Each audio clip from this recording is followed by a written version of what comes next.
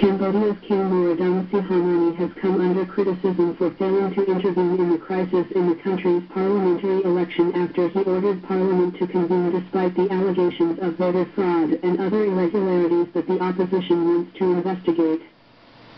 But some experts say that the king has limited influence in a political landscape dominated by the Cambodian People's Party of Prime Minister Hun Sen, CPP, which claimed victory in the July 28 poll by government-appointed National Election Commission, NEC.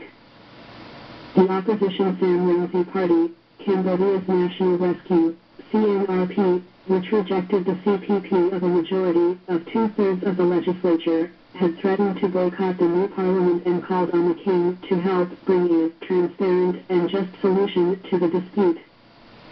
Analysts say that the king, although his limited powers, can still play an important role in defusing the crisis by using its influence to prod Hun to forge a compromise with Sam Rainsy in the national interest.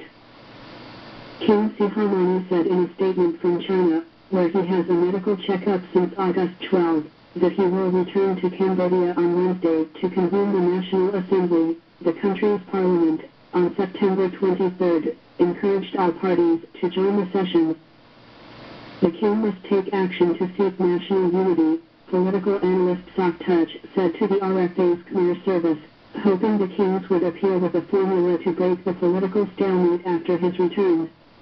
I hope and believe that when King returned to Cambodia, he will call on Khmer politicians of both parties to resolve the dispute, he said. He said that if the situation required him to do so, the king should not fear speaking out against Hun Sen because the people will support him. We regard the king as the shade which protects us from the sun, he said. If the king only in royal palaces, how can the people be protected? The king's armies? It is the people of Cambodia. So, your royal princess, please don't worry. The Cambodian people will support you protect the monarchy but Prince Sisowath Thomico, a member of CNRP and former advisor to King Sihamoni, saying that the king might be wary of using his influence to break the deadlock when it can have the risk of endangering the monarchy itself. CPP, he said, there are at least twice as a direct threat against the institution of the monarchy once in 2005, Hun Sen warns the king to his throne is at stake if he has confirmed border treaties Cambodia-Vietnam, and again in 2006 when senior party Chiem Lap said the CPP could abolish the monarchy just as it was going to install it again.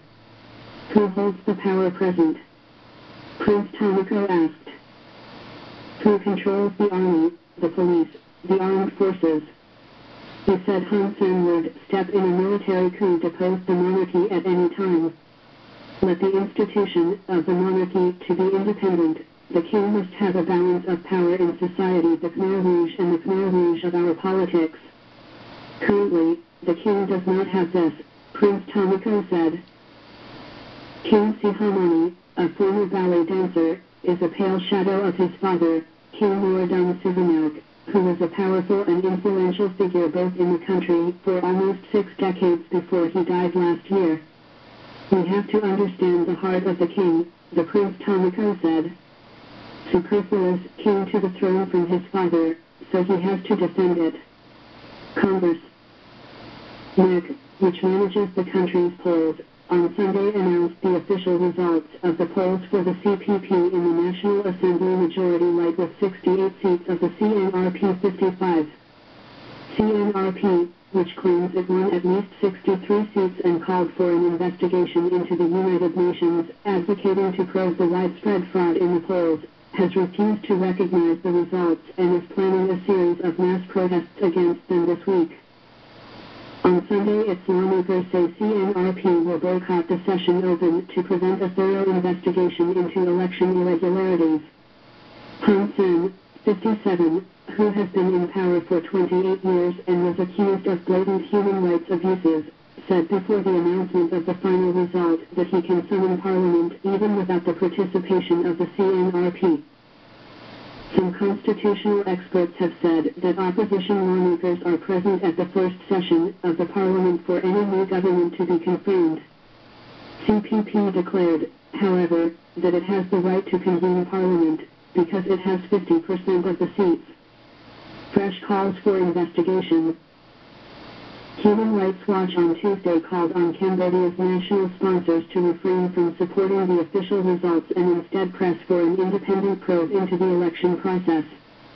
Bias and unfairness in the electoral system, structural problems, and allegations of widespread irregularities could change the outcome of a close election, the group's ASI